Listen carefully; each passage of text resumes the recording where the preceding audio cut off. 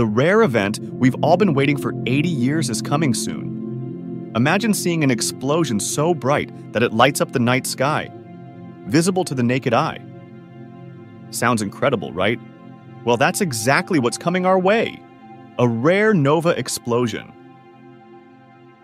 Let's dive in and explore what this means. So, let's take a cosmic journey. Our destination? The northern celestial hemisphere, where the constellation Corona Borealis awaits. This little jewel of the sky, spanning 3,000 light years away, sits snugly between constellation Boötes and Hercules. From Earth, Corona Borealis looks like a stunning crown. But did you know? This starry crown comes with a legendary Greek myth? Nestled at the base of this crown is a rare binary star system, T Coronae Borealis, or TCRB for short. Usually, it is too faint to see without a telescope. It has earned the nickname Blaze Star due to its dramatic outbursts of brightness. TCRB consists of two stars, a red giant and a white dwarf. The red giant is in the late stages of its evolution, having expanded significantly as it depletes its hydrogen fuel. The white dwarf, on the other hand, is a dense, compact remnant of a star that has shed its outer layers. The white dwarf's intense gravity pulls material from the red giant, forming an accretion disk around it, spiraling in closer and closer.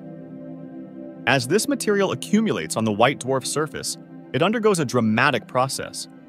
When enough hydrogen accumulates on the white dwarf surface, it heats up, reaching extreme pressure and temperature.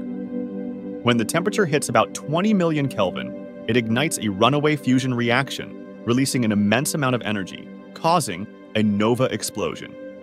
The star suddenly brightens, shining up to 1,600 times brighter. All that stunning light doesn't last forever. The ejected material cools off and the star's brightness fades. Then, soon enough, the cycle begins anew as more hydrogen accumulates, now, if you are outside, seeing the night sky to spot Corona Borealis, look for the bright star Arcturus. First, follow a straight line through the next two stars in Boötes. By the third star, look to the left, and you'll find Corona Borealis. For an easier experience, you can use an app like Stellarium to locate the constellation. Now, the big question when will the next nova be? historical records show verified explosions in 1866 and 1946. There are hints of earlier events, like in 1787, but they're unverified. NASA's latest data suggests the next explosion could happen anytime between now and September this year. In April 2016, TCRB showed a steady brightening pattern, similar to what was observed in 1938. Also, the recent dimming in brightness occurred in April 2023 was significant enough, which was the same case right before 1946. Altogether, these similar events further support this prediction in 2024. Imagine a spontaneous, bright light visible with the naked eye, illuminating the sky near Corona Borealis, a spectacle not seen since 1946. If it doesn't happen by September, keep watching the night sky.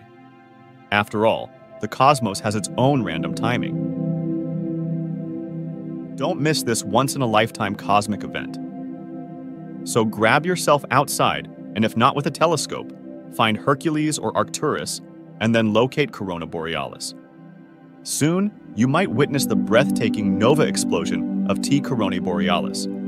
Stay curious and keep looking up. Share this video to all so we could be ready, witnessing the amazing together.